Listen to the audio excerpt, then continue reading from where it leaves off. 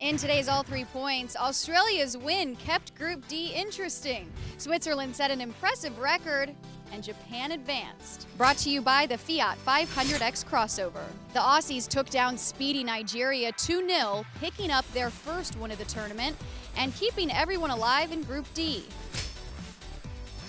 A big congratulations to Japan, the first country to secure their spot in the round of 16. And before that, Switzerland absolutely crushed Ecuador 10 to 1 and set a record in the process. Fabienne Humm scored the fastest Women's World Cup hat trick ever, slotting home three goals in just 4 minutes and 34 seconds. And at 5 foot 2, Meghan Klingenberg may be the shortest player on the US team, but she came up huge against Sweden. It was her goal line header that cleared away what would have been the game-winning goal for Sweden. Thanks to her heroics, the US at a top Group D with 4 points. Next up, Nigeria.